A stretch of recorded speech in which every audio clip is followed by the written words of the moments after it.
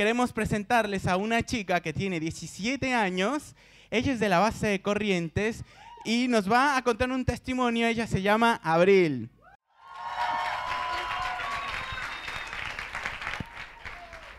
Hola, buen día. Es todo un desafío para mí estar parada acá adelante porque tengo una lucha contra la vergüenza.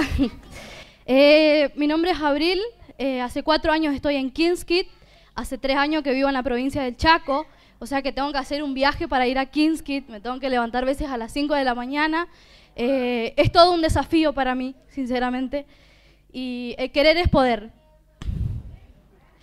Em, voy a contar mi testimonio de cómo yo viví esto en mi colegio, cómo yo viví como adolescente lo que es ser pro vida y cristiano. No es muy fácil para los adolescentes decir yo soy cristiano y plantar mi bandera con mis principios. No es fácil, porque hay gente atrás que te hace bullying, que te dice, ah, pero sos religiosa, sos anticuada, y vos tenés que luchar en contra de eso.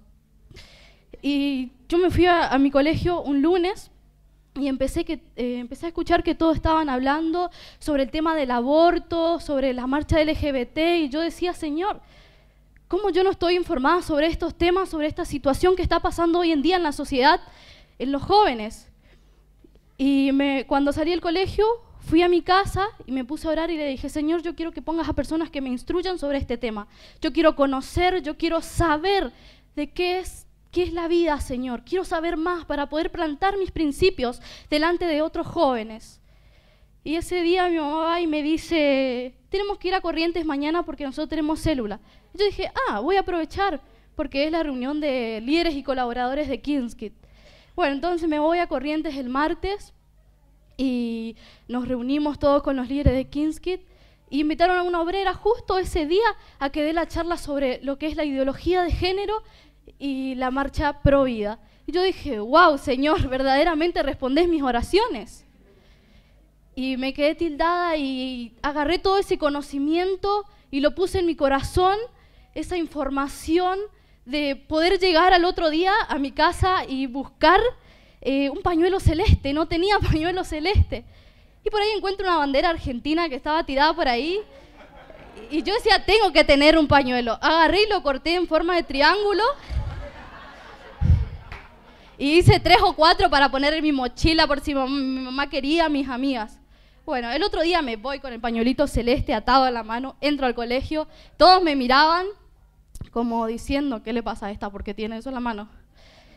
Y bueno, oré antes de ir al colegio, obviamente, por si alguien quería levantarse en contra mía o en contra de los principios de Dios. Y pasó el día y llegó miércoles.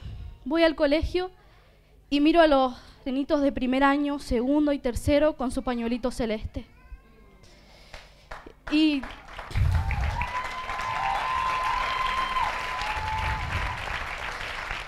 verdaderamente agradecí a Dios porque como Él me exaltó, como Él me mostró que yo marqué la diferencia en ese momento. Y quiero animarles a ustedes que están acá, que puedan seguir invirtiendo en los niños, en los adolescentes y en los jóvenes, porque verdaderamente esa charla que me dio la obrera de Kinsky, esa charla que me dio mi discipuladora Vanessa, a mí me sirvieron. Yo adquirí sabiduría, y la sabiduría es el temor a Jehová. Y gracias a Dios puedo decir que puedo defender a la vida con principios y tengo argumentos, porque Dios en todo tiempo me fue fiel y nunca me abandonó.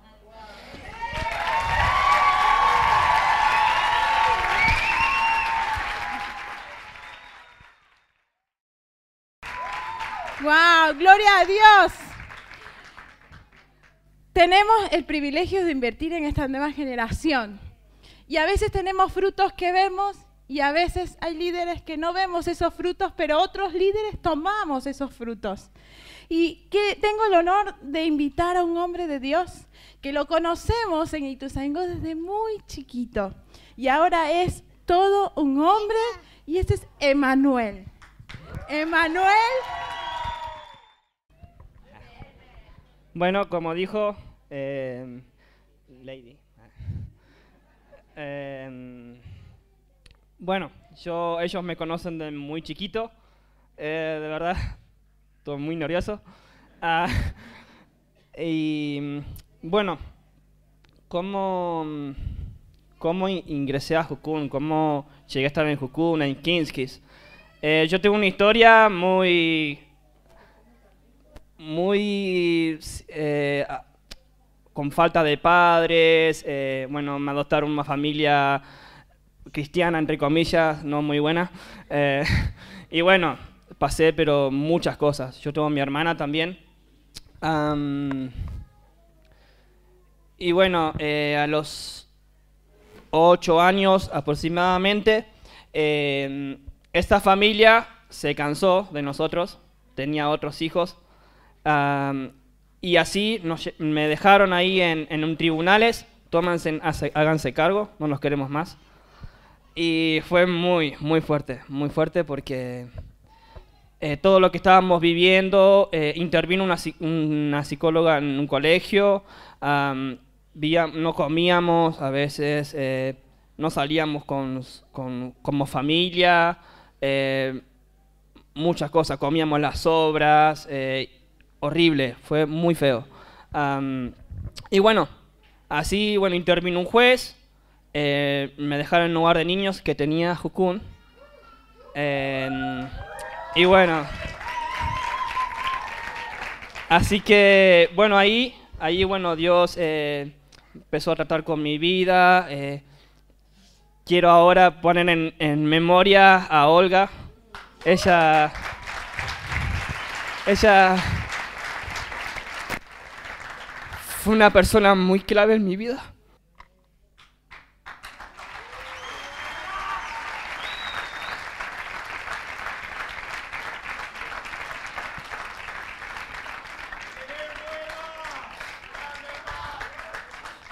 Me enseñó un montón a ver a Dios conocí muchas personas, a los líderes, Walter, un montón de personas que, que estuvieron acompañándome, enseñándome principios de Dios, eh, cómo trabajar en mi carácter, en mi pasado. Eh, en Jukun, de verdad, sentí este amor de familia, ese amor de, Dios. Después el hogar cerró. Ah. Y bueno, pasaron desde que volví el año pasado, pasaron como nueve años, o diez aproximadamente. Dios me habló de volver. Eh, sí, gracias. Dios me habló de volver. y la palabra que Dios me habló para volver era, mis pensamientos no son tus pensamientos y mis caminos no son tus caminos. dijo, volvé a Jucún. Después de nueve años que yo había perdido contacto, tenía el contacto de Javier Echar en mi teléfono, no sé de cómo, no tenía teléfono, no sé cómo. Seguramente por Facebook se habrá sincronizado, la verdad que no sé cómo.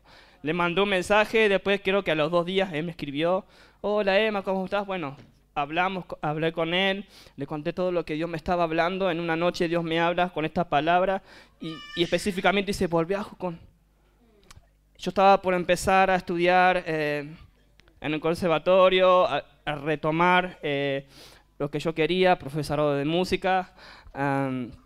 y bueno, Dios me dice, no, esto no es lo que yo quiero. Y me costó mucho renunciar porque era difícil para mí eh, ingresar a ese lugar, sos sorteado y un montón de cosas. Y, yo, no, no, esto no es para vos.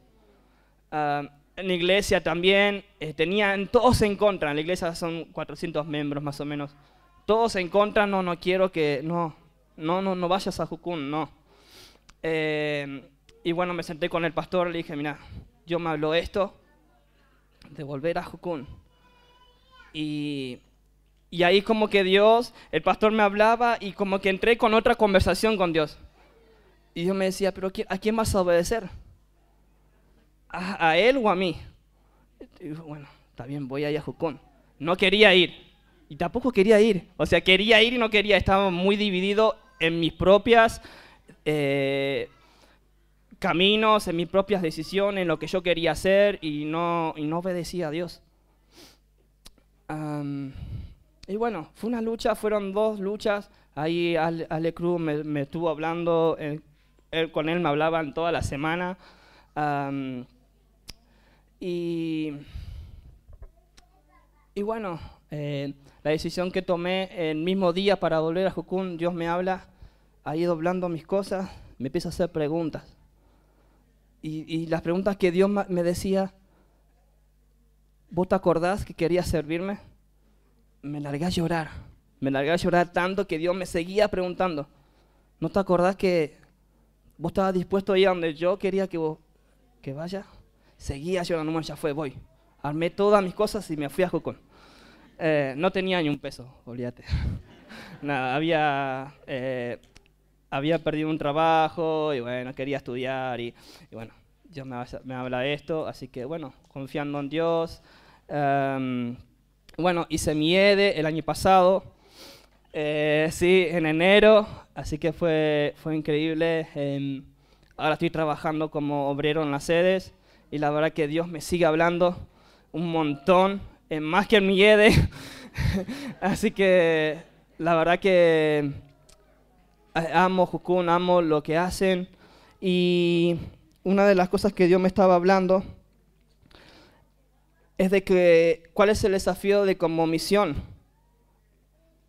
No solamente Jukun, sino como todas las bases de Jukun. De desafiar a esta nueva generación. Y entonces, eh, desafiar, y entonces me puse a pensar, desafiar, desafiar. Pero ¿cómo vamos a desafiar a, nuestra generación si nosotros no tenemos ningún desafío? O sea, si yo no estoy desafiado, ¿cómo voy a desafiar a otro? Entonces, Dios me empezó a hablar esto, y, y ahí cuando estábamos en intercesión, en la mañana, eh, yo empecé a escribir un montón de cosas que Dios me estaba hablando, y, y Dios me empezó a hacer preguntas. Y, ¿Y cómo estás escuchando la voz de Dios? ¿Estás escuchando como vos querés? ¿Como Dios quiere? Eh, ¿Cómo estás tu discipulado aún? Porque si no hay desafío, no estás desafiado, hay, algo, algo, algo pasa ahí. Y esto me estuvo hablando a mí, a mí mismo. Y estas eh, cosas eh, que impiden esto, esto tener desafíos, de esto de incentivar a otros, desafiar a otros, em, hay cosas que mm, no podemos alcanzar. Por, aún eh, la sinceridad, eh, la perseverancia, y me estaba recordando eh, todo lo que ellos hicieron como líderes, todo lo que ellos invirtieron en mi vida, los años que seguramente estuvieron orando para que yo vuelva, para que alguien, alguien en ese hogar tome este desafío. Y fue increíble porque, o sea, ni yo me la esperaba que después de nueve años iba, iba a volver. Y para mí es muy grande. eh, valoren a los líderes que tienen. eh, acepten el consejo, por más que no le guste eso que Dios me estuvo hablando antes de venir también a la, a la conferencia. Que no te guste eh, en tu discipulado y, en todo, en todo. Y también Dios me traía a memoria, o sea, Dios me estaba hablando y en, la mañana y me decía, y me empecé a quebrantar porque como que Dios me decía que hay personas que a- a- vienen orando tanto tiempo por algo que, que- que quieren, eh, que, que- aún quieren dejar eso. Y, y me largué tanto a llorar, tanto a llorar porque Dios se entristece. Eh, y, y a veces por no, por no esperar o por querer todo ya, todo ya, ay, yo quiero ahora, yo estoy llorando, como decía la palabra esta mañana, eh, yo estoy llorando, yo estoy llorando y no viene nada. Pero las cosas no van a venir en dos meses, en dos semanas. eh, a veces puede pasar un largo plazo, pero la perseverancia, el trabajar en el carácter, ya, discipulado de una. Porque si no estás discipulándote, no va a pasar nada. Así que la verdad que. em, la verdad que honren a sus, a sus líderes y es un privilegio poder compartir esto poquito que hablé y, y bueno, eh, gracias. Amén, amén. Y queremos escuchar una declaración que mm, nuestro querido Tiago escribió ahí con su, con su papá, con su mamá. Estuvieron ahí a- hablando y él decía, bueno, yo me animo a escribir y también, bueno, me animo a hablar. Ahí lo estábamos convenciendo, dale, vení, no sé qué. Bueno, ahí lo, lo logramos convencer y nos quiere contar un poco de lo que él ha escrito y ha procesado ahí en medio de todo esto. Es de la base Rosario, claro, obviamente. Vení, Tiago. Hola, mi nombre es Tiago, soy de la base de Rosario, tengo 11 años y mi familia es mi mamá Paula Maldonado, mi papá Irán Maldonado y tengo dos hermanos, Luca y Mimi. Yo les quería contar una vez que em, estábamos en una marcha, estábamos en una marcha provida que estábamos bailando y yo tenía que hacer eh, tenía que hablar y pedía que los diputados los diputados eh, son nuestra autoridad. Entonces ¿qué, qué iban a elegir estar a favor de la muerte o a favor de la vida entonces em, di el discurso todo y declaré eso.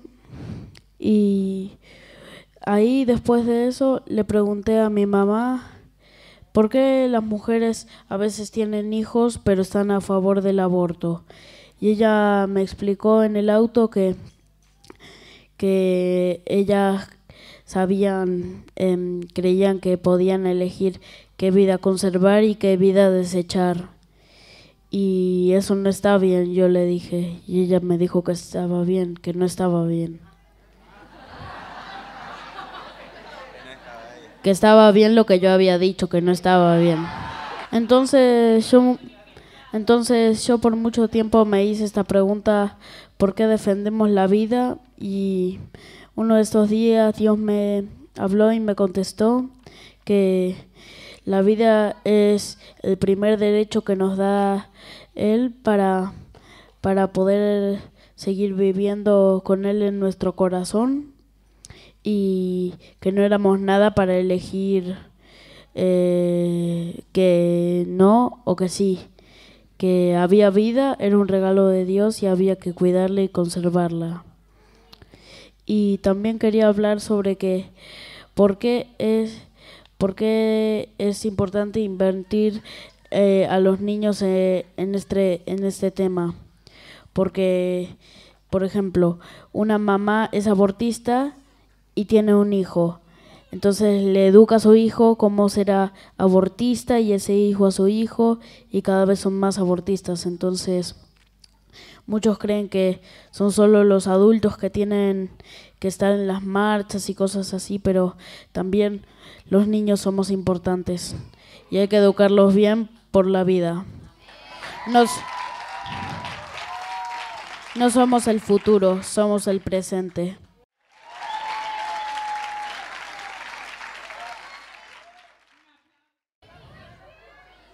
Ahora queremos presentarles a una de nuestras obreras, que seguro ella les va a contar un poquito más, pero también ella comenzó desde chiquita y ahora ella es parte de nuestra, de nuestra tribu jucumera. Ella es de la base de Córdoba y queremos presentarles a Brenda Santellán.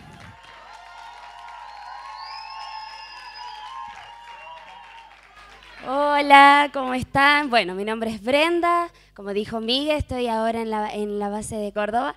Eh, bueno, la verdad que estoy feliz de ser Kings Kid, porque una vez Kings Kid, siempre Kings Kid, así que siempre Kings Kid, hasta que me muera voy a seguir siendo Kings Kid. Eh, feliz de haber pasado mi tiempo, ¿no? Es siete años en Kings Kid, eh, la verdad que hermoso. Desde chiquita, a los 11 años, yo dije, yo quiero ser misionera de Jucum, había dicho. Un equipo de corriente fue a mi iglesia y yo dije, quiero ser misionera de Jucum. Y ahí fue que conocí Kings Kid, este lugar donde me enseñaron a escuchar la voz de Dios, este lugar donde me desafiaron a defender la vida también. Mi primera marcha de la vida fue en la plaza que está en el barrio de ahí en Ituzaingó. Fue la primera vez que salía a decirle no al aborto, o sea, fue la primera vez. Y me acuerdo que compartimos ahí con los chicos, aún había gente en ese momento que no quería saber nada a favor de la vida, pero aún nosotros íbamos igual. Y re loco me ponía a pensar que lo que nos daban a nosotros en ese momento para defender la vida era una cintita verde. Era una locura, era una cintita verde. Nosotros repartíamos eso para decir que ese color representaba vida, no esperanza. Y nosotros hablábamos del aborto, hablábamos del abuso sexual infantil. Temas tan profundos ¿no? que aprendí en King's En King's por primera vez pude hablar de un abuso que yo había tenido cuando era chiquita fue en Kinski la primera vez que pude contar esto. Entonces, como qué importante es poder invertir en esta generación. 11 años tenía, miren, me acuerdo charlas que daba Javier Char, charlas que dio Miguel, charlas que daba Lady, aún eh, Alejandro cuando nos compartían los campamentos que teníamos, Walter, me los acuerdo completamente, frases que quedaron grabadas en mi corazón, como esto de mente desocupada, taller de Satanás, me enseñó eh, Javi, ¿no? Y también Lady me enseñó, cuando, cuando hay renuncia va a doler. ¿Viste? Y si algo te duele es porque está ocupando el lugar de Dios. Ah, ya de una, ¿viste? Como trácate. Bueno, y ahí, ¿no? Ahí, ¿no? En eso, ¿no? Como, wow, re fuerte, ¿no? Como esto de, también eh, Francesca una vez nos enseñó sobre el orgullo, nos dio la lista del orgullo, pero Dios mío, estaba re orgullosa, ¿no? De todo, ¿no? Como estas cosas, ¿no? Que aún hasta el día de hoy sigo recordando, palabras, frases, retos también, porque la corrección también quedó marcada en mi corazón. Me acuerdo una vez cuando estábamos de viaje misionero en, en Bariloche, Teníamos un tiempo de administración, wow, tremendo, ¿no? Unciones. Y aparece cierta persona que no voy a mirar. Dice, muy lindo, muchas lágrimas, mucho todo, pero ¿qué van a hacer? ¿Viste? Como demasiado llanto, demasiado cosa, pero ¿qué van a hacer? ¿No? Como esto de desafiándonos. Y este desafío era lo que uno se queda, ok, es cierto, ¿qué vamos a hacer? Mucha lagrimita, mucho todo, pero ¿qué vamos a hacer? Y no como, qué loco esto de desafiar la nueva generación. Invertamos en los pequeños. Yo junto en Córdoba estamos trabajando en los cocos con Kinskid también. Lo comenzamos. Estamos de ahí de a poco invirtiendo también en las familias, porque Kinskid también es familias, porque Kinskid no es solo el nene que lo mandamos y ya está, no, Kinskid es familia también. Entonces la importancia de invertir en esta generación, porque recuerdo 11 años y recuerdo charlas, recuerdo palabras de Dios que me habló, Dios me habló en Kinskill. No tomen en poco la juventud de estos chiquititos, no tomen en poco porque el Señor les habla. El Señor nos habla. Y verme ahora, ¿no? Que yo, bueno, dejé 15 y ya me echaron, ¿no? Tuve que, me dije, bueno, te va buscando otro lugar, ¿no?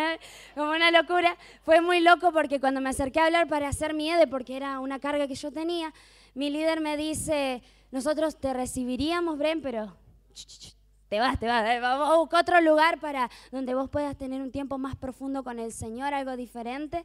Y, ahí esto, obedecí, ¿no? En esto, y la verdad que fue tan sabio esto que me aconsejaron, ¿no? De irme a otro lugar, a otra tierra, ¿no? Porque era un tiempo profundo, la EDE, ¿no? Entonces era como, wow, ¿no? Como ver a Dios, ver a Dios, ¿no? Ver que desde pequeños ya somos marcados por Él, ya somos elegidos por Él. Entonces ahí si estás en duda, a ver, soy, hago Kinskid, abro Kinskid o no, no, no. Sí, abrilo, porque esta generación lo necesita. Mi generación lo necesita. Mi hermana tiene 11 años y también necesita, necesitamos de personas que nos capaciten a esta generación, que nos reten. No, muchas veces no solamente esto de, no solamente entretener, retalos también. Es parte, la disciplina es parte porque ahí aprendemos también. Entonces animarte que si estás ahí en la duda, no, sí hay que invertir en esta generación. Sí hay que invertir en estos apasionados y radicales. No, esta es la palabra que recibimos como ministerio de Kinskid en Córdoba, que es una generación apasionada y radical. ¿Y cómo vamos a multiplicar esto? Invirtiendo en ellos invirtiendo en ellos. Y nos llevamos amigos, nos llevamos experiencias, aún en Kinskid aprendemos a hacer finanzas porque necesitamos para nuestros viajes misioneros. Kinskid nos abre este paso a nuestra relación con Dios. Yo te invito a que si estás ahí en duda, no, ponete firme, sí. ¿Te van a desobedecer? Sí, te van a desobedecer. a veces no te van a ir, no van a querer ir, pero seguí invirtiendo en esta generación. Dios bendiga. Y queremos seguir escuchando y llamamos a Meli. Meli es de la base de Punta Arena. Me llamaron el otro día y me dijeron, vas a compartir tu testimonio. Entonces, ¿va? La verdad yo les quiero hablar de lo que me pasó en este tiempo porque en mi escuela hay muy poca gente que es cristiana y que está a favor de la vida. Me acuerdo que un día cuando estaba volviendo del viaje de Albania, días después este, mandamos a pedir unos pañuelitos celestes y me acuerdo lo que me dijeron el tío Edo y la tía Rosy que era de que era este el pañuelito verde. Entonces, ese día yo puse el pañuelito en mi mochila, lo saqué a la hora de almorzar y lo puse en mi mochila. Iba caminando, me miraban raro y cuando entré al salón me empezaron a decir que Dios no existía y al final de la escuela me, me empujaron. Y ahí fue cuando aprendí que la vida no era fácil. ¿Por qué? Porque para los niños, ¿querés ser mi mejor amigo? Dale. ¿Por qué tenés ese pañuelito? Porque estoy a puerta del aborto. Ok. Y para los grandes, ¿y por qué tienes ese pañuelo? Porque tengo que Ay, tengo que ir a almorzar. Permiso. No es como si apretas un botón. Listo, todos están de tu lado. Me acuerdo un día que estaba en la marcha y pasó una de mis mejores amigas que se mudó de la escuela y yo estaba. Y después me di cuenta que no tenía que avergonzarme por la razón que estaba haciendo porque era una causa buena. Días después, el miércoles creo, eh, fui a la escuela y hablé en mi clase de religión con, con mi profesora porque, porque la otra venía y le hacía memorizar su nombre de inglés y nomás a los otros. Entonces yo iba a una sala y la señorita no habla vamos a aprender esto, esto, esto y lo otro. Y la otra decía, se aprenden esto, esto y lo respondemos el martes. Bueno, no tiene sentido. ¿Qué aprende con la causa? Pero cuando de verdad aprendí qué era el pañuelo celeste y qué era la vida fue en King's con la Piri y Fabi.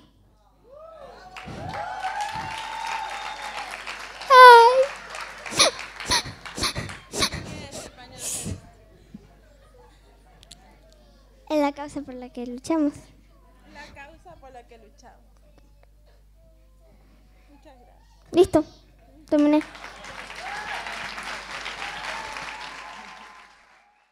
Lo aprendí de ti. ¡Wow! Lo aprendí de ti, le dice el pastor Alejandro. ¡Wow! ¿Cuántas cosas enseñamos y no nos damos cuenta? Y queremos invitar a nuestra última Kings que también ahora fue obrera, ahora es obrera, y también queremos escuchar lo que Dios le habló y lo que tiene para compartir. Sofía Luna.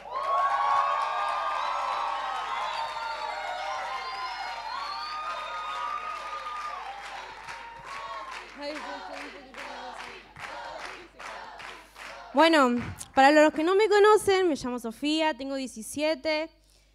Bueno, yo hoy les quería hablar una palabrita, como dice Paula, sobre el aprovechar. ¿Qué es el aprovechar? El aprovechar es disfrutar los momentos, es manejar bien los tiempos. Pero eso, es algo que yo no supe hacer, por mi orgullo.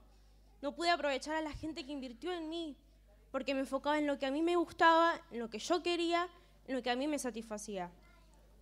Entonces, en medio de todo ese orgullo, eh, Dios me confrontó.